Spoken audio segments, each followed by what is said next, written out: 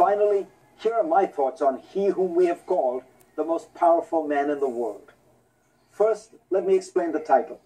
The United States, and China for that matter, are more powerful countries than Russia, of course, but the power of a head of state is determined both by the country's strength and the capacity he or she has to exercise that power unilaterally, unconstrained by other institutions, parties, or political forces.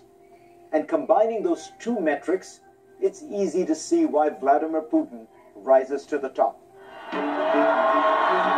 He has created what he calls a vertical of power, unlike any we have seen in other great nations.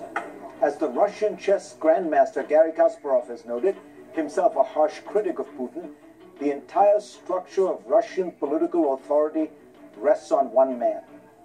When the Tsar died, after all, you knew the process by which his successor, his son, would be elevated. When the General Secretary of the Soviet Communist Party died, the Standing Committee and the Politburo would select his successor. But when Putin dies, I almost said if, what will happen? No one knows. To understand Putin, you have to understand Russia. The last hundred years for that country have seen the fall of the Tsar, the collapse of democracy, the Great Depression, World War II with its tens of millions of Russian dead, Stalin's totalitarian brutalities, the collapse of communism, the breakup of the Soviet Union, Boris Yeltsin's years of chaos and corruption, and then comes Vladimir Putin, who ushers in almost two decades of stability and, in popular perception, rising standards of living and increasing prominence and respect in the world. Respect is important. Russians have immense national pride. Russia is, after all, the largest country on the planet, 48 times larger than Germany. It encompasses 11 time zones and straddles Europe, Asia, and the Middle East.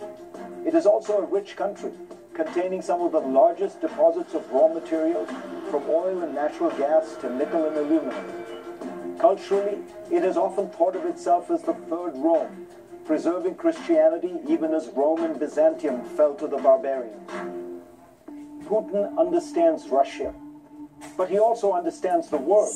He's not foolish enough to make a frontal assault on America or Europe.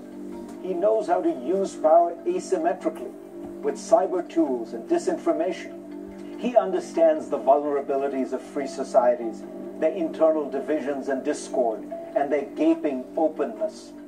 He understands the fragility of institutions like the European Union and NATO, and ideas like integration and diversity.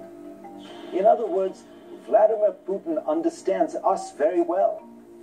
The question is do we, does Donald Trump, really understand him?